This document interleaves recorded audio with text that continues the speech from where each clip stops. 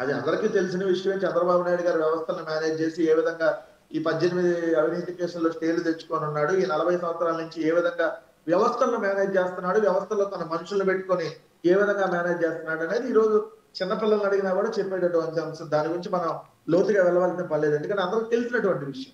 ఇంకో ప్రధాన. అంశం వచ్చేటప్పటికి రెండు వేల పదిహేనవ సంవత్సరంలో వికీలీక్స్ సాక్షాత్తుగా చెప్పింది చంద్రబాబు నాయుడు గారి ప్రభుత్వం.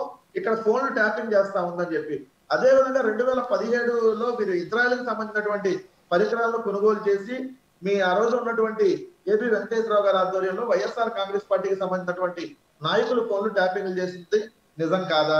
ఇదే మా సజ్జల రామకృష్ణారెడ్డి గారి ఫోన్ ట్యాపింగ్ జరిగినప్పుడు మేము హైకోర్టు హైకోర్టులో ఏదైతే ఆ కేసు వచ్చినప్పుడు అదే ఇదే రాష్ట్ర ప్రభుత్వం ఆ రోజు చంద్రబాబు నాయుడు గారి ఎన్నికలు అయిపోయినాయి. ఏప్రిల్ ఇరవై నాలుగవ తారీఖున హైకోర్టులో ఇదే ఆ రోజు చంద్రబాబు నాయుడు గారి ప్రభుత్వం ఉంది ఇంకా? చంద్రబాబు నాయుడు గారి ప్రభుత్వం ఏదైతే హైకోర్టుకు చెప్పింది మేము టెలిగ్రాఫ్ చట్టం పద్దెనిమిది వందల యాభై ఐదు సెక్షన్ టూ ప్రకారం మేము ఫోన్లు ట్యాపింగ్ చేశామని చెప్పి సాక్షాత్తుగా ఒప్పుకున్నటువంటి ఇదే చంద్రబాబు నాయుడు గారు ఈ రోజు ఫోన్ ట్యాపింగ్ అంటే నిజంగా విడ్డూరం వస్తా ఉంది.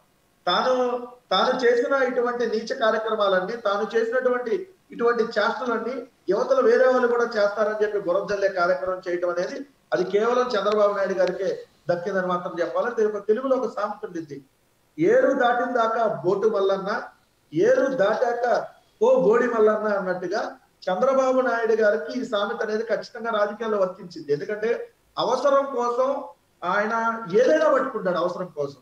అవసరం తీరిన తర్వాత ఆ వ్యక్తిని తీసుకెళ్ళి ఎక్కడైనా పడేసి చేతులు దులిపేసుకుంటాడు.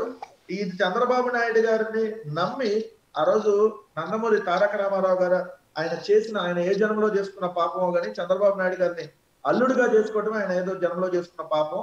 అట్లానే చంద్రబాబు నాయుడు గారు నమ్ముకున్న వాళ్ళని ఏ విధంగా నట్టేట ముంచుతాడు? అవసరం కోసం మోడీ గారు కాళ్ళు ఎలా పట్టుకుంటాడు. అవసరం తీరినాక మోడీ గారిని ఏ విధంగా పచ్చి బూతులు తిడతాడు?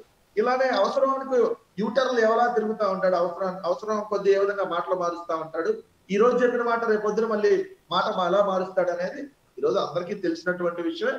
ఇటువంటి చంద్రబాబు నాయుడు గారి నేతను ఆంధ్రప్రదేశ్ రాష్ట్ర రాజకీయాల్లో ఉండటం నిజంగా కూడా ఆంధ్రప్రదేశ్ రాష్ట్రంలో ఉన్నటువంటి ఐదున్నర కోట్ల మంది ప్రజలు చేసుకున్న ఒక దురదృష్టంగా మేమైతే భావిస్తాం. ఈ వీడియో గనుక మీకు నచ్చినట్లయితే లైక్ చేయండి షేర్ చేయండి.